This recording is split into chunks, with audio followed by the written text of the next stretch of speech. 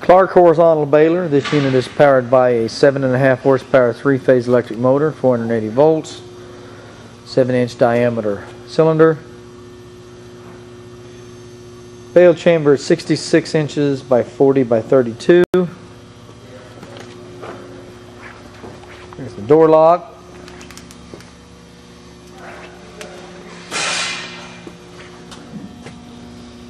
Chamber.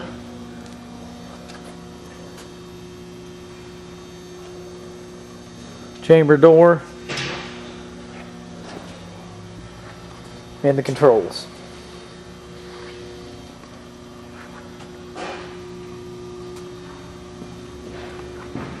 vertical mounted motor for the hydraulic pump. We'll demonstrate the operational capacities of this unit.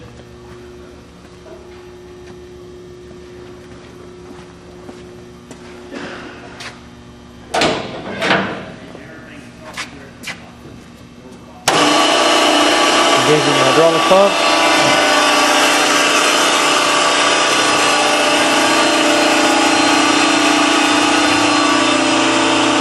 You can see the platen.